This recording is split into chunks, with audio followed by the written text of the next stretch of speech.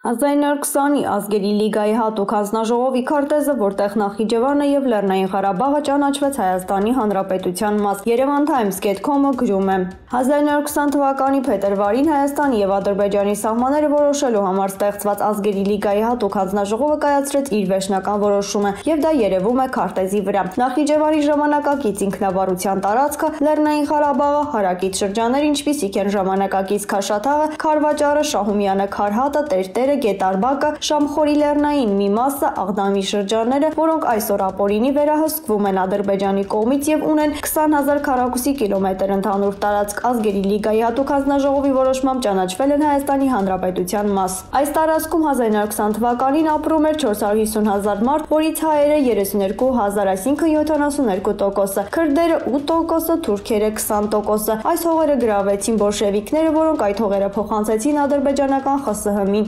Խորհրդային իշխանության տարիներին եւ դրանից հետո այս հողերում իրականացվել են էթնիկ զտումներ։ Այսպիսով 2020 թվականի դրությամբ այս հողերում արդեն ապրում են 650 հազար մարդ, որից թուրքերը 67%, հայերը 33% եւ չնայած սրան 30 տարվա քարոշչության արդյունքում ադրբեջանցիներին հաջողվեց համոզել ողջ աշխարհին, որ իրենք ունեն 1 միլիոն փախստականներ նշված տարածքներից եւ որ դրանք ադրբեջանի անվիճելի տարածքներն են, իսկ մեր դիվանագիտությունը դա չկարողացավ անել կամ ինչ որ կերպ հակազդել դրան։ Թուրքիան հնարավոր է փակի Բոսֆորը ռուսական նավերի համար, եթե ՆԱՏՕ-ի դեմ ռազմական միջոցներ ձեռնարկվեն։ Թուրքիան լինելով ՆԱՏՕ-ի անդամ հնարավոր է փակի ռուսական նավերի մուտքը Բոսֆոր, եթե Ռուսաստանը ՆԱՏՕ-ի դեմ ռազմական միջոցներ ձեռնարկի։ Այս մասին հաղորդում է Ավիապրոն։ Սա պայմանավորված է Թուրքիայի իրավունքներով, երբ երկրին սպառնացող իրական սպառնալիքների դեպքում կարող է արգելափակել կամ սահմանափակել հետևյալ նավերի մուտքը դեպի նեղուց։ Ընդ որում հատկանշական է, որ այդ ամենը մեծ հավանականությամբ Անկարային կստիպեն անել Միացյալ Թագավորությունը եւ ԱՄՆ-ն։ Հայտնի է, որ ԱՄՆ-ն եւ Մեծ Բրիտանիան Թուրքիայի հետ վերջերս բանակցություններ են վարել կապված Ռուսաստանի հնարավոր գործողությունների հետ, եւ թեև բանակցությունների մանրամասները մնում են անհայտ, Թուրքիան վերահաստատել է Հյուսիսատլանտյան դաշինքի նպատակներին հավատարիմ լինելու իր դիրքորոշումը։ Ավելին Թուրքիան նորերս մտահոգություն հայտնեց Դոնբասում հակամարտության հնարավոր սրման կապակցությամբ։ Այսօր Թուրքիան Ռուսաստանին համարում է իր գործընկերը, սակայն Ղրիմի, Ուկրաինայի եւ Սիրիայի հետ կապված իրավիճակը վկայում է այն մասին, որ նման գործընկերության հուսալիությունը շատ ուշ կասկածի տակ է։